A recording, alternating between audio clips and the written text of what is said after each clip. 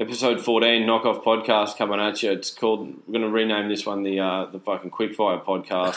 Reason being, fuck, I fucked up. We did just did the best fucking two, UFC 205 breakdown you'll ever hear leading into this. ESPN, Chael Sonnen, Yeah. all of them didn't have anything on how we just, the fire that we Our just spat. have, our phone would have been ringing, Seriously, that, like the, it would have blown up, but I fucked up and uh, I set up the recording gear wrong. Da- Yeah. Danny's not here; he's in uh, he's in Colombia, and he's uh, he, young Daniel. Like he's the uh, Jamie Vernon of the uh, the knockoff. he kills it. He kills it with all the gear. Setting it all And up. uh, and, I've got uh, hopefully this is recording though because we're, we're planning on uh, on breaking down this 205 card and, and just rattling through it. That's um, right. We won't go into too much detail. But, yeah, we um, won't, won't- uh, yeah, won't touch on too much detail because we've just been talking about it for an hour and a half. we'll have to repeat it all. It'll all be repeated anyway. But, Absolutely Oh, fucking that's shattered, man. classic. That's classic. Fucking hell, we yeah, Can't be helped. just You- mi- you- missed you our grand slam home run. Yeah. Just struck out. That's it, man. We would have had had uh, like sponsors waving tens of grand, tens of thousands of dollars at us. So Yeah. It's okay, man. Don't, feel, don't feel bad about it. We'll get up again, man. Like- Fuck that. Ah. Anyway, UFC 205 uh, for all, all you fight fans out there is just around the corner. Mm. Uh, th- this time next week, we'll be sitting down to watch uh, what on paper is the fucking best card of all time. Yeah. It, uh, it, it's right up there, just with current stars and marketability. They've got uh, three title fights on this Mm. card coming up. Mm-hmm. Chris and I are going to go on record here and have a little uh, little tournament against each other. Put our fight picks on there.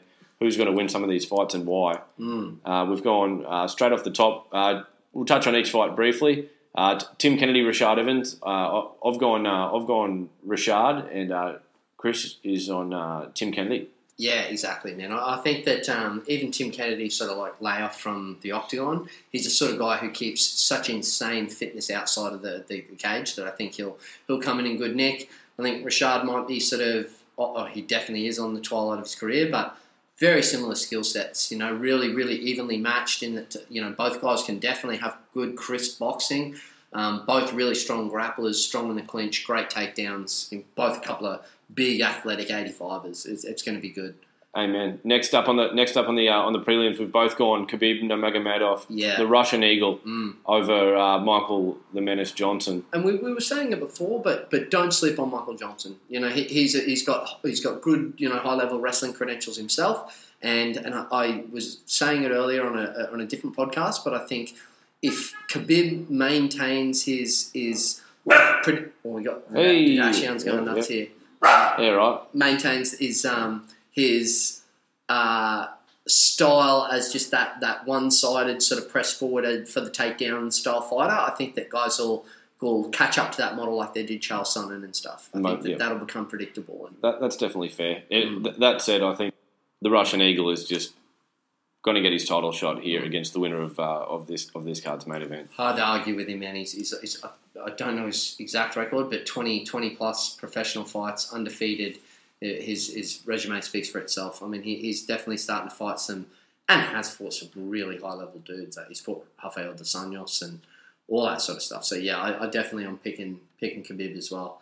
And another fight we, we both agree on is that Frankie Edgar versus Jeremy Stephens fight. I think, yeah, I think Frankie is uh, the best, one of the high level uh, guys in mixed martial arts. Mm. Even pound for pound, he's up there. He's up there for mine because one well and truly, he fights at forty five now. He could get to thirty five if he wanted to, Yeah, and, and go and go absolutely. compete down well down there. But um, and probably will. Yeah, realistically he- he speaking, could. before the before the end of his career, I definitely think because they'd give him a shot. Yeah, yeah, He- they would. that- man, he'd, I he'd earned that. Mm. He's earned that. So I, I think uh, he's got got to look out for Jeremy Stephens' power. Yeah. But I think uh, Frankie might be a little bit too crafty for him, and maybe a three, a three round fight here too, which is rare for Frankie these days. He's a Yeah. main event sort of guy. Yeah, yeah. But uh, if he, I'm going to go Frankie by decision. We're, Mm. we're both on record there. I think with Me Frankie too. getting Me it done. too. And I, and I agree with you 100%. I think that Frankie is is one of those guys that represents the one of the most well-rounded guys in mixed martial arts. You know, he, he's the sort of guy that has just really slick stand-up punches, kicks.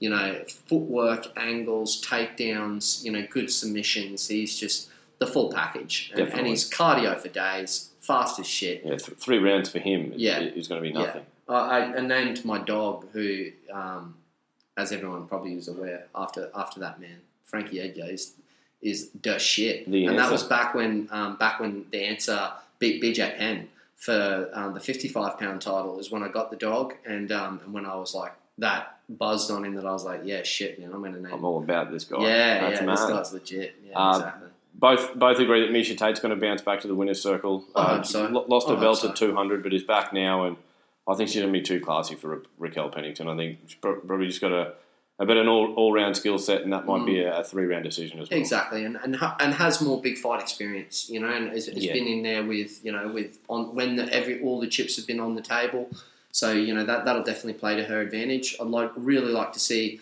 Miesha come out and just stifle her as Miesha does best. You know, she's one of those people that sometimes turns up, sometimes seems to just you know struggle, but she always absolutely goes out on her sword. Like Miesha, Mm. Miesha Tate fights are always good to watch. You know, they're, they're always definitely worth tuning in for. So. Here's war, what- war Miesha. Here's one we dis- uh, we disagree on. I've gone uh, Donald Cowboy Cerrone fighting at welterweight again. Uh, I've gone Donald. Chris is on board Kelvin Gastelum. Yeah, yeah. I, I think that this is the first. Like I know that Rick Rick Story is up there with a you know as good a grapplers as as get get around, but I think that Kelvin Gastelum is going to be a, a really different challenge for Cowboy. I think that if he pressures him and he and he sort of pushes him back and and you know takes him down, I think that he can control Cowboy. But who knows, man? Cowboy of a late and especially a Cowboy at seventy is looking like a monster. Absolutely, he is. I'm Yeah. uh, yeah. I'm, I'm happy to be on board with uh, with the Cowboy. Do you th- do you think he finishes him, or do you think it, it, it sort of sprays out into a, into a decision? He may like he Could might. You can, you can catch him in a in a triangle or something. Donald's that crafty. Yeah. really good, slick. We're just well rounded. Yeah. Cowboy these days. Uh, Absolutely, man. Absolutely. we're both on. Speaking of well-rounded people, holy shit, Chris But- Chris Weidman.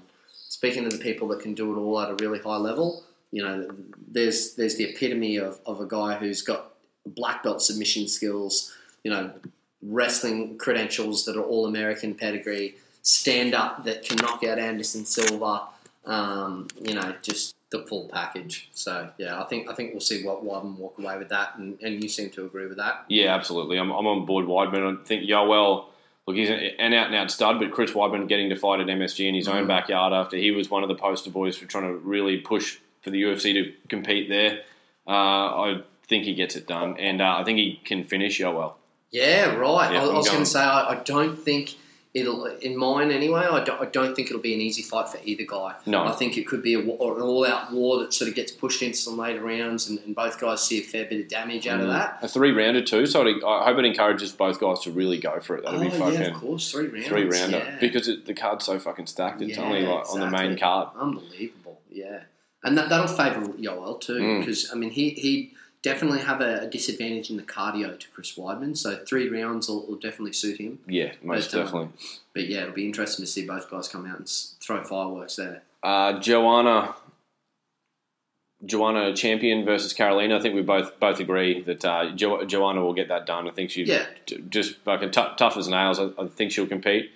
After that fight, you go to the next one of Stephen Wonderboy Thompson, Tyron Woodley. Oh yeah, yeah, That's yeah. that's like the forgotten about fight on this about card. Fights is, just insane. Like ano- another title fight. Uh, Wonderboy is a, a New Yorker as well. He's like, looked unstoppable. he's, uh, Wonder Boy in, in his last, you know, however like many a, fights. a He's- fucking video game character. yeah, man. yeah. His his style is just so hard for everyone to figure out. It's sort of like that that early Lyoto Machida when Mm. he first came onto the scene, where everybody, no one knew how to fight him, and and people still haven't figured that out with No. Wonder Boy.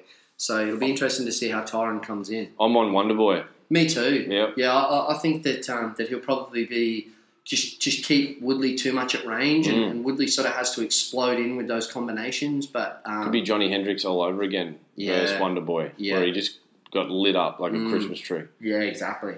Oh yeah, definitely, man. I, I'm, I'm Wonder Boy there too, but I'd, I'd like to see Tyron Woodley beat him.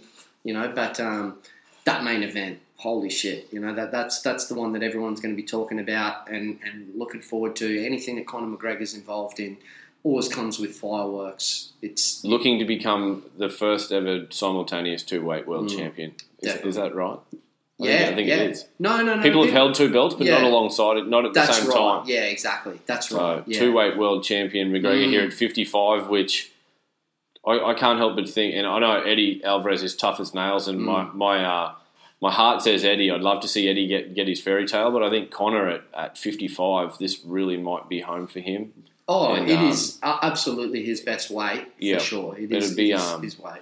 I just think he might be able to tag him early. If, Con- Mm. if Con- Conor is to win for mine, I don't think he wins a five round decision against Eddie. No, I no. think uh, Eddie, Finds Eddie is hammer of a left hand early. exactly, Yeah, exactly. I, I think Conor's one of the best early round fighters in uh, Mm. in the UFC. He comes out, Oh, definitely. asserts his dominance sort of straight up in a fight. He likes to really let him know how Mm. that left feels, and I think he might have potential to really, really tag Eddie. Yeah. if uh, if And- Eddie's not careful. And Eddie is, is one of those guys that, that has known for in previous fights to get tagged early and to get rocked and Mm. badly hurt and knocked down like he did in that Michael Chandler fight and just Frankie Edgar style recover from adversity and, and come back and, and gut through it. But when when Conor McGregor lands that left hand, like a lot of people don't get a second chance. Like it, it puts people out. That's it's, it's a, right. he- he's a heavy hitter early, like you said. Um, I just think that Eddie Alvarez is going to be looking, and he's even come out in the interviews and, and sort of announced that he thinks that Conor McGregor is really just a left-handed fighter. Mm. So I mean, he's going to be looking for that left hand. He's going to be looking to move, um, you know, as he's sort of done in those Rafael dos Anjos and um, and Gilbert Melendez fights. And I reckon he'll look to cut him off, clinch with him, Mm. tire out his arms Yeah, in between rounds, Really wear him out. wear him out. Take take that gas tank away from Conor. Get him to that stage of when his hands down, big Mm. deep breaths. You So know, he, he was fatigued in that Nate fight yeah, again, man. definitely. He one hundred percent he did. Like, him and he ended up getting- him yeah. knocking him down and got a, se- a second, ended up getting sort of somewhat of a second wind and was able Mm. to gut it out. But Yeah, there was fatigue there, and if that's uh, if Eddie's a loves it on the ground, uh, he to, could wear Conor out. yeah, So, yeah, exactly. Yeah, Oh, yeah, Heart, yeah. Heart wants Eddie. Head, if I'm a betting man, I've got to go on record and say it's Conor McGregor. Yeah, I'm, I'm, I'm, I'm, I'm more pulling for Eddie because I, I, you know, obviously Conor McGregor sort of is one of those love him or hate him type fighters, but um, but I, I legitimately feel as though Eddie uh, Eddie Alvarez is, as I said on the, the previous previous recording, is the first person to really test uh, Conor as a high level wrestler since Chad Mendes. Mm. You know, because he really hasn't had anybody that's like Nate Diaz. Yeah, sure, you tried to clinch with him, but Nate Diaz isn't even in the conversation of good wrestlers at 55. No, no, you're dead right. So, Mm. With that said, it was we did say it was going to be the fucking quick shotgun podcast. We've got the uh, the card coming up now that we're going to go and tune into. yeah, so who do you picking for that one, Briss? look, I've got to go. Uh, I've got to go with Tony Ferguson. You, I just are on him, mate. I you, am, You, I am. you dig him. I have Yeah. I have for a while too. I just like the uh, the skill set that he brings. Like Mm. bit of an oddball with his personality. Fucking don't get me wrong, but uh, each time he comes, it's an entertaining fight. Yeah, So that's a high, high level lightweight bout. RDA looking to bounce back after he lost his belt. So we're in for a treat here this afternoon. Yeah, Hope you've enjoyed it. We've got uh, a few things in the works too, which uh, which might be coming up over the next few weeks. So fucking stick with us. We'll keep putting shit out. Thanks for joining us, Chris. see who gets their picks. There we go. Yeah, come, t- tune in for the next one, and uh, we'll see who gets the fucking chockies. Yeah. All right. Peace out. Talk soon.